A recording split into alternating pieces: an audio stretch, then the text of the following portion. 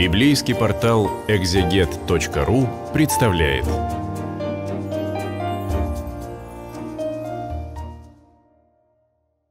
Добрый день. На библейском портале «Экзегет» мы продолжаем рассмотрение послания к римлянам, третья глава.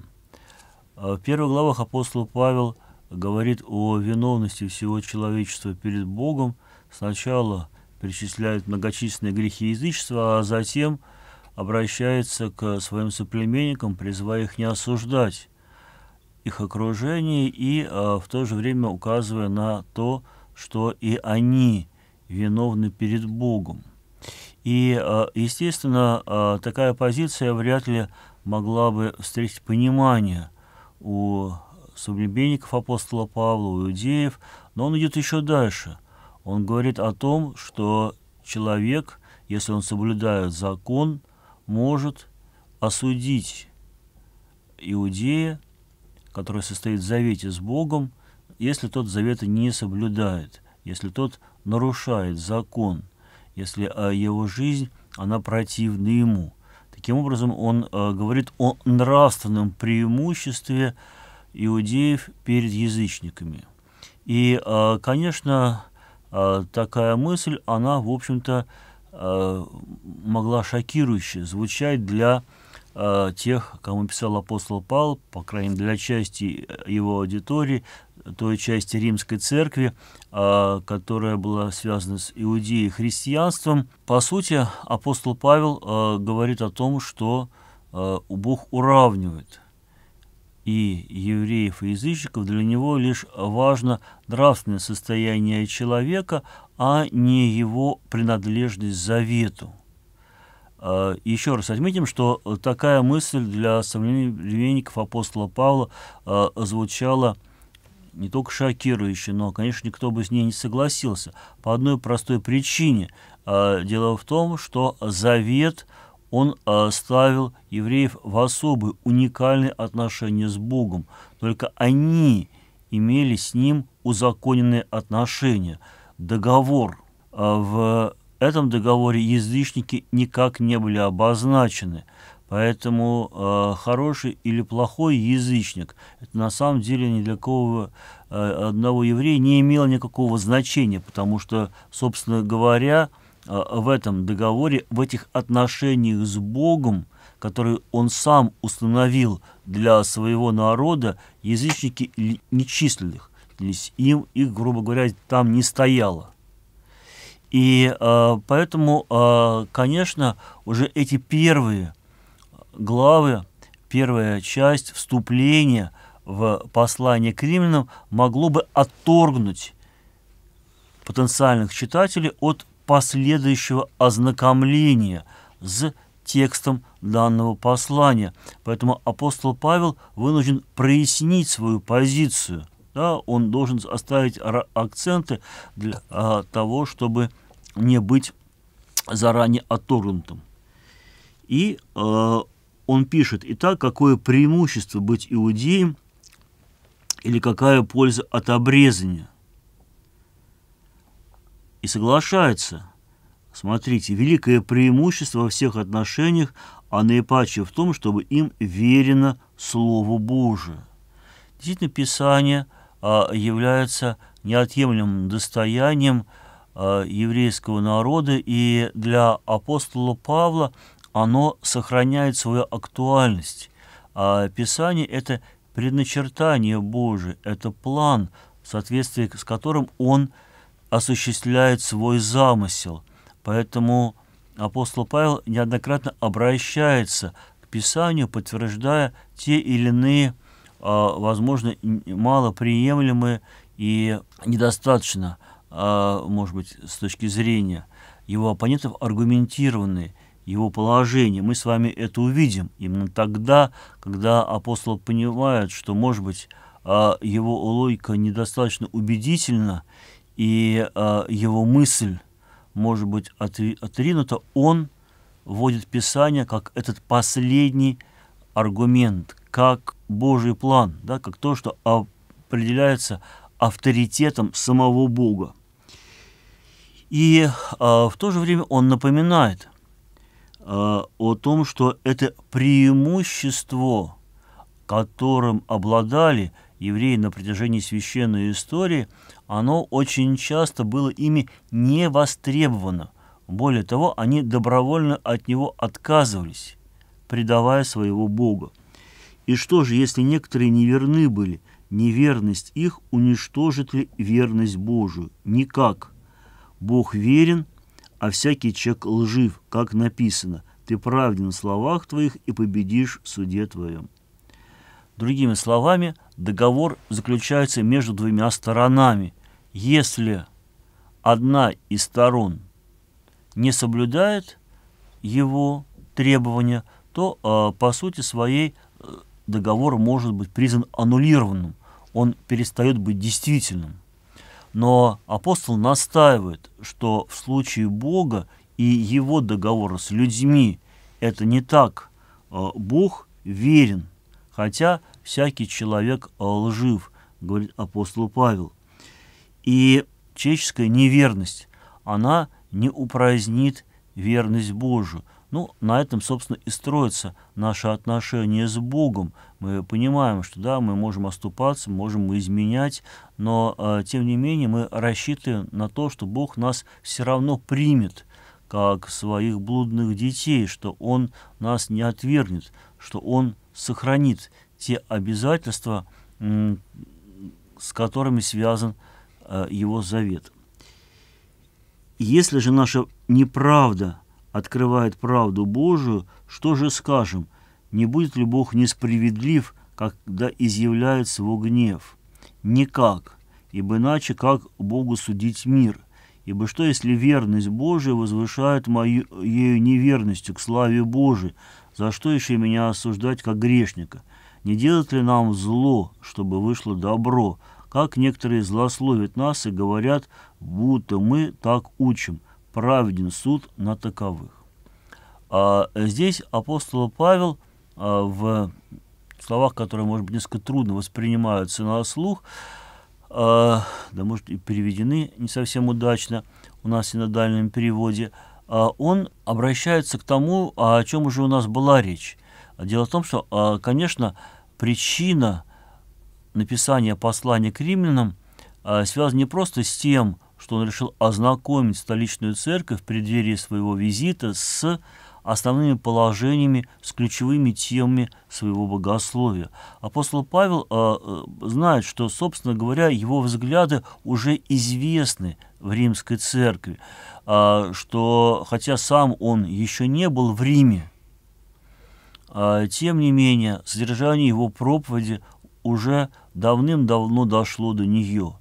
Но э, в то же время э, по отношению к апостолу Павлу существовала оппозиция – а, его понимание, оправдание, о котором мы сейчас еще будем говорить дальше, оно иногда не встречало понимания, поскольку апостол Павел говорит о том, что Бог оправдывает нечестивого человека, оправдывает грешника без э, всяких заслуг, без всяких потуг с его стороны. И получается так, что Бог действительно являет свою славу, являет свою милость, являет свое всепрощение, и э, его оппоненты, они э, на это говорили, ну что ж, тогда будем продолжать грешить, что Бог и дальше являл бы свою милость. Если грех остается безнаказанным, если со стороны Бога он не э, встречает никакого наказания, гнева, значит, можно безбоязненно грешить, ничего не опасаясь. Верность Божия возвышается моей неверностью к славе Божией. А, но не вступая в полемику и а, не пытаясь в данном случае сколько-нибудь подробно ответить, апостол Павел говорит о том, что его так злословят, вот, будто мы так учим, праведен суд на таковых. Ну, э, собственно говоря, э, причина, по которой апостол Павел не пытается в данном случае защитить себя, э, является то, что весь последующий текст послания, он по сути своей является ответом на то, каким образом апостолы искажали в среде римской церкви. И, собственно, поэтому и он пишет это послание, да, поэтому он хочет как бы изложить то, как он в действительности а, мыслит. И здесь он обратно возвращается к тому вопросу, а, с которого начал, вопросу о преимуществах. Существует ли преимущество у евреев по отношению к остальным народам? И говорит, нисколько – ибо мы уже доказали, что как иудеи, так и эллины все под грехом. Итак, отправная точка – это равенство всех перед грехом. Да? Все люди грешат, без исключений. Это не важно, какому народу люди принадлежат, где они находятся, есть у них закон, нет у них закона, а все равно они так иначе отступают. И э, для того, чтобы опровергнуть возможные возражения, апостол Павел как раз здесь и э, прибегает к Писанию, и вот э, дальнейший как бы, шквал цитат, он э, призван как раз тому, э, чтобы все возможные контраргументы уничтожить, э, чтобы ему здесь уже никто не мог возразить. Итак, э, апостол Павел здесь э, цитирует Ветхий Завет, прежде всего э, книгу пророка Исаи. Как написано, 10 стих, «Нет праведного ни одного, нет разумеющего, никто не ищет Бога, все совратились с пути, до одного негодны, не делающих добро нет ни одного, гортань открытый гроб, языком своим обманывают, яд аспитов на губах их, уста их полны злословия и горечи, ноги их быстры на пролитие крови, разрушение пагубы на путях их, они знают пути мира, нет страха Божия перед глазами их».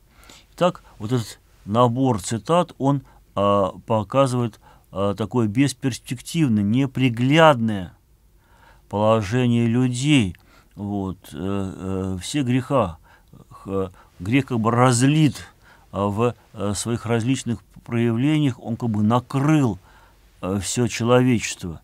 И апостол Павел говорит, что закон не является выходом из этой ситуации – он э, не сообщает в данном случае э, евреям никаких преимуществ, ибо мы знаем, пишет он, что закон, если что говорит, говорит состоящий под законом. Так что заграждаются всякие уста. Весь мир становится виновен перед Богом, потому что делами закона не оправдается перед ним никакая плоть, ибо законом познается грех. Так, э, закон не дает выхода из ситуации этой тотальной всеобщей виновности. Почему? Потому что э, цель закона не в том, чтобы э, человека сделать праведным. А закон, как мы уже говорили с вами э, в видении, по мысли апостола Павла лишь идентифицирует грех, он указывает на него, он говорит, что именно является грехом или правонарушением но это своего рода уголовный кодекс. Да? Наличие уголовного кодекса а, не делает людей лучше, оно не избавляет никого от преступлений. Люди продолжают а, совершать преступления при наличии уголовного кодекса, и он только может кодифицировать эти преступления, да, указать на их степень и тяжесть. Есть ли выход э, из этой ситуации? Возможно ли он? Ныне, апостол говорит, 21 стих, независимо от закона явилась правда или праведность Божия, о которой свидетельствует закон и пророки. Праведность Божия через веру в Иисуса Христа во всех и на всех верующих, ибо нет различия.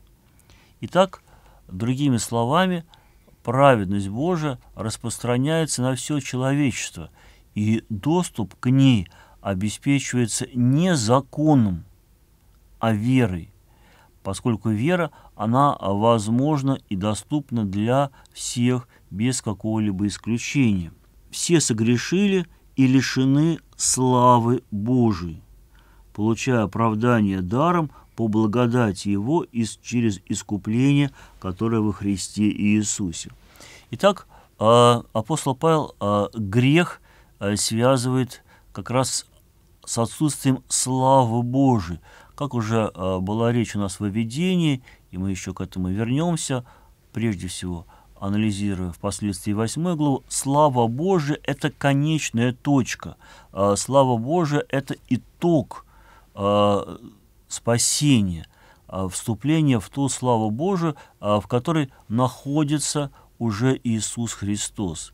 И цель прихода Христа – это вернуть человечество в славу Божию, ту э, славу, которую это человечество, все человек изначально имел э, до грехопадения и от которой он отпал.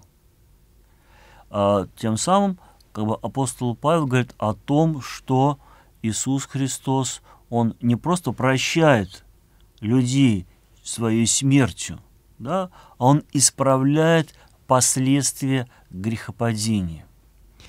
И эта тема еще э, неоднократно будет им развита, прежде всего, как мы с вами видим, в пятой главе.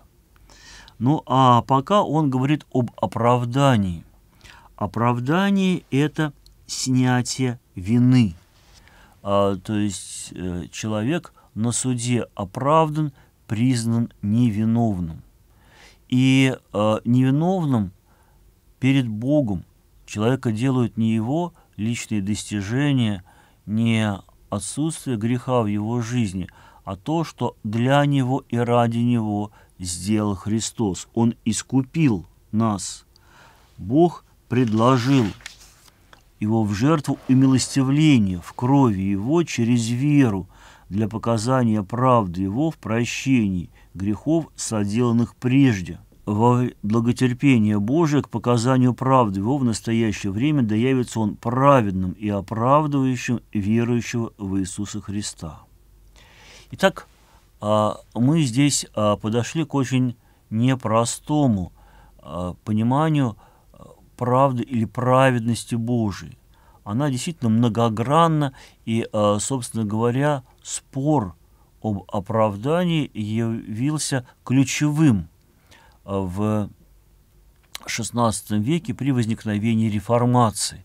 Поэтому понимание оправдания, оно э, до сих пор во многом зависит от конфессиональной принадлежности тех или иных христианских комментаторов – а мы, э, конечно, не вдаваясь в подробности, отметим с вами лишь некоторые ключевые понятия. А прежде всего, Бог является праведным и оправдывающим верующего в Иисуса Христа. А, казалось бы, праведность Божия у нас не вызывает сомнений. Никто из нас не стал бы оспаривать это, это самое очевидно. Но заметим с вами, что речь идет о том, что Бог оправдывает грешника. А, представим себе, если судья оправдывает человека, который, очевидно, сделал преступление. А мы бы, а, несомненно, назвали а, такого судью неправедным, да, его деяния обозначили бы точно так же. Поэтому здесь как раз парадокс мысли апостола Павла. Он говорит о праведности Божией, которая а, выражается именно в том, что Он оправдывает нечестиво. Это происходит совершенно необычным образом. Бог не просто а, закрывает глаза на человеческие пороки преступления, Он не просто а, списывает а, все грехи, Он посылает на смерть своего единственного Сына. И э, для нас Э, слово «жертва» оно является знакомым, а мы обычно говорим именно так, говоря о Голговской смерти, но э, в то же время, конечно, мы э, понимаем, что происходит осмысление апостолом Павлом того, что происходит на кресте. И в частности, он говорит не просто о жертве, а о жертве умилостивления в крови его – умилостивление греческое ластерин – это крышка ковчега Завета, которая находилась а, в той части храма, именуемой Святая Святых, в которую первосвященник мог зайти лишь однажды в год в праздник день искупления, Йом-Кипур, и окропил пространство этой э, самой святой части храма, которая олицетворяла присутствие Божие э, крови одного из жертвных козлов. Э, этот праздник являлся кульминацией прощения, искупления годового, и э, об этом была у нас речь при анализе посланий к евреям. Так вот, здесь апостол Павел точно так же использует эту символику, а, подчеркивая именно, что прощение, оно не бывает без крови. И э, кровь креста, она действительно становится жертвой и дает прощение грехов. Итак, Христос нас оправдывает, то есть мы получаем праведность, и нам уже не вменены э, прошлые грехи.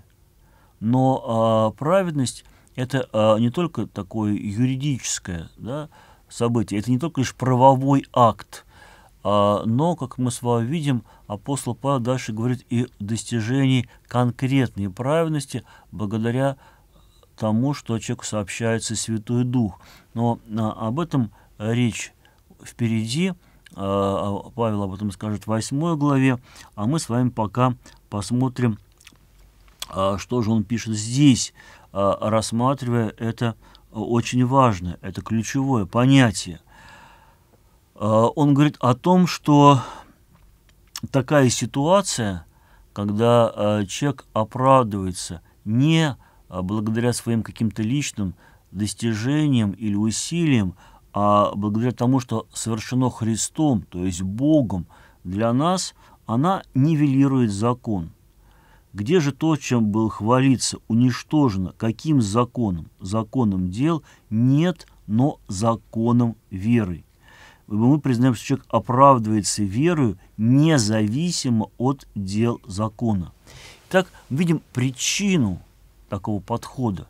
Действительно, а, дела, какими бы это они ни были, они всегда являются источником похвалы – нам с вами это хорошо известно.